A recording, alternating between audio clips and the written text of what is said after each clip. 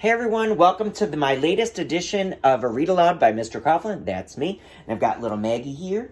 All right, this one's called I'm the Biggest Thing in the Ocean by Kevin Sherry. And I'd just like to say thank you to the author and the publishing company for allowing me to read this book aloud to you.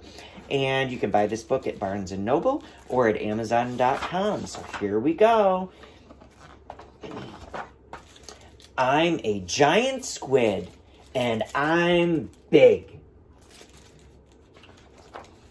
I'm bigger than these shrimp. I'm bigger than these clams.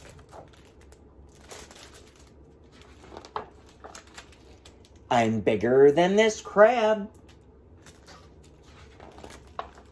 Sounds like somebody's bragging. I'm bigger than that jellyfish.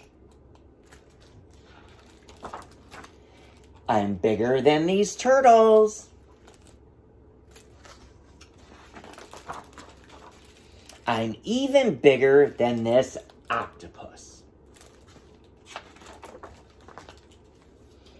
I'm bigger than that shark. Shh.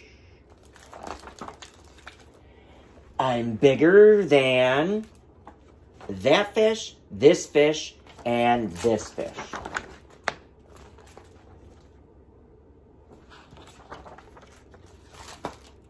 And that fish. I'm the biggest thing in the ocean. Oh. Uh-oh. What do you think's going to happen next?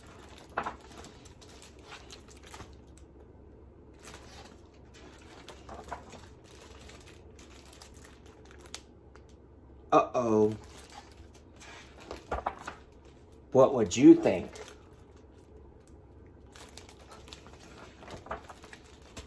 Well, I'm the biggest thing in this whale. the end. All right, boys and girls, thank you for tuning in. Stay tuned for my next edition of A Read Aloud by Mr. Coughlin. Take care. How do you like the t-shirt? It's my favorite, or one of my favorites. Take care.